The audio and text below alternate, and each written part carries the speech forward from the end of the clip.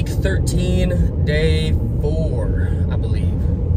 Uh, still in my work shirt, obviously. I'm on the road back to Greenville right now, and uh, I'll just change once I get to the gym. I'm just gonna head straight to the gym. No point in going home once I get back. You know what I mean? Just change when I get there. We'll take it from there. Um, so week 13, day four, shoulders and a swim. So I mentioned earlier this week that you know the swim I did at the hotel pool. I mean, it's good to get in the water and just kind of get wet, basically, but it wasn't. You know, it's not sufficient for a, an Ironman training day. You know, so so we're not gonna count that as an Ironman training day. We're just gonna kind of count that as a basically cool down, I guess. And this will be like the swim for the week. Where's my Ironman training swim?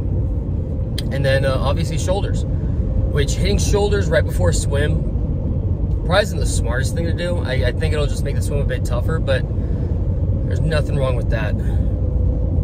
I'd rather make the swim tougher than easier, you know? Um, yeah, that's really all we got for today.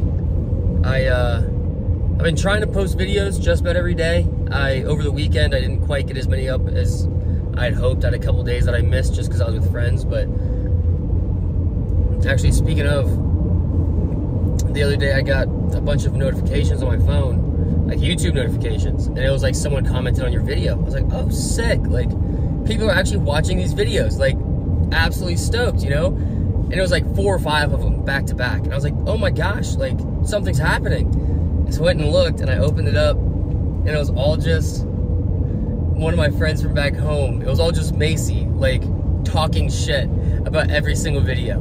Like, I was benching, and she was like, you look small right now or something like that. Or like, and then in another, she was like, "You look like you don't know how to swim." So it went from like ecstatic, like "Holy shit!" People are commenting on my videos to just like my friends talking shit back home. So yeah, that's kind of tough. But at least people are commenting. I guess. I guess that's a win. Oh shit. Um, I think that's really all we got for you this morning or this afternoon. Um, also, I think I will walk through the shoulder warm up today as well. I haven't done that yet, but shoulder is one of those things that I like to warm them up really well just because if anything gets injured for me, it's my shoulders and knees. So I try and make sure that I warm those up pretty good. So I'll walk you through the warm up as well for shoulders. But uh, yeah, we'll see you in there. All right, so as I said, I will go over the warm up real quick. Um, this is just the shoulder warm up. Get on the cable machine. I'll hit this for each arm, then turn around, hit it on the backside for each arm. Uh, pretty straightforward. You'll see people doing this a lot with dumbbells, which I don't understand one bit. Um, this one maybe with dumbbells, I guess that hits shoulders a, a little bit, but when you're just standing straight up and your arms in front of you, you're going to the sides, that dumbbell puts pressure downwards. So you're basically just working your bicep. You're not really hitting your shoulders very much. Whereas if you get on this cable machine or with this resistance band, either or, um, you get that resistance against your shoulder and you kind of work that rotator cuff much more than, than with a dumbbell. So if you're warming up the shoulders, I would definitely use the that cable machine. All right, talking too much. First set, excuse me. Oh my goodness. First set, I got the 70s out for this. Uh, I'm going for sets of 10.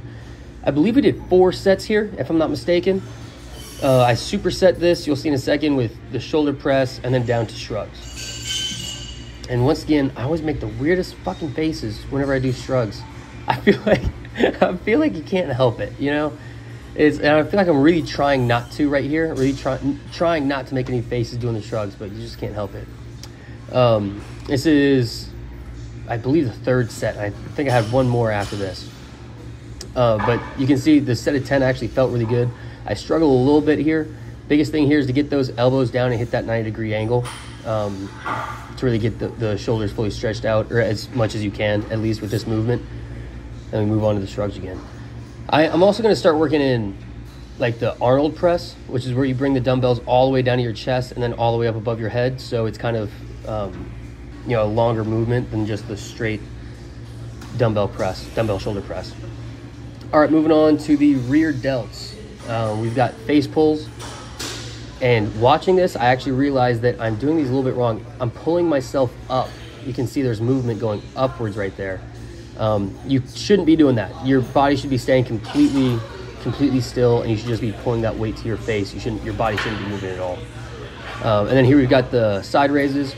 I'll switch off between which one I like better, the cable or the, just the dumbbell. They're both absolutely amazing. You can't go long, wrong with lateral raises. Um, this will get that, shoot, it, that side delt. Is it medial delt is the technical name for it? I forget. We'll get that side delt absolutely pumped. And we're gonna finish off some front raises just with the dumbbells, try to keep it slow and control all the way down, even more so than I'm doing there. But yeah, that's what we got for shoulder day today. All right, shoulder day is complete. Um, we didn't get in the pool because there's a swim team in there right now and they're taking up all the lanes and I'm not about to hop in with the swim team. They would embarrass me. So I don't know what it is about getting a swim in that's so impossibly difficult, but this week has just been a bitch and a half. So um, tomorrow is going to be a long bike and a long run. So I'm thinking Saturday, what's Saturday going to be? Saturday will be chest. I think I'll just do a swim with chest because I need to get a good swim in this week. And that fucking hotel swim is not to cut it. So we just keep bumping it back over and over again, but we'll get in the pool eventually. We'll get something done. Um, but shoulder day, shoulder day felt really solid. Uh, I think I need to bump it up on those, the dumbbell shoulder press. The sets of 10 with 70s felt fairly light today. So start bumping it up to 75 or 80 for, you know, six to eight. That's really it, I think. Um, it's funny, I've started ending every video with that whole like, better today than we were yesterday and you know what I mean, better tomorrow than we are today. It, it sounds cheesy as fuck, but I started doing that because when when I was hiking the Appalachian Trail, I was hiking with this guy named King, or that was his trail name at least. And um, we had this thing where every night when we were in the tents and we were going to bed, right? One of us would yell out from our tent, today was a good day. And the other one would reply with, no, today was a great day. And it's like, even if you had the shittiest day of all time, you know, even if it was like like we hiked in the rain, we were soaking wet, it was miserable, like up and down mountains, no views, just the worst fucking day. You want to beat your head against a fucking rock, you know, because you have some horrible days when you're hiking that trail. So it's like, even if you had the worst fucking day and you just felt like fucking like dying, you know, we ended every day with today was a great day, no, or today was a good day, no, today was a great day. And it didn't matter who said what, just one person would call it out from their tent, and the other person would have to respond with, you know, no, today was a great day. And I feel like it's just, you know, trying to stay in that positive mindset of, you know, no matter what the fuck happened, today was a good day. Like we were living in the woods, we had no worries other than where we were gonna eat and sleep, you know.